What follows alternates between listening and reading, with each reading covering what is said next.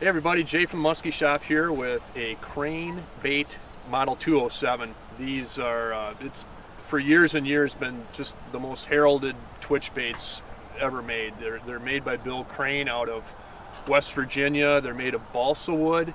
Uh, they're very buoyant and um, as you're going to see here, they, they just have an, just an action that's second to none.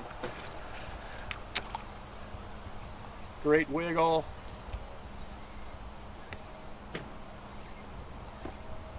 He's been making these baits for years, and over the last several, they've been much more limited in production, and um, the demand is super high for them. And uh, it's one of those baits, when we can get a lot of them, we do. We order tons of them, and um, just an extremely successful line of lures.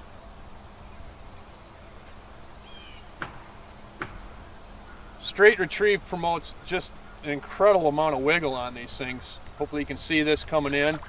But uh, you can mix it up and stop and go with short little twitches and blast right over the weeds, shallow structure.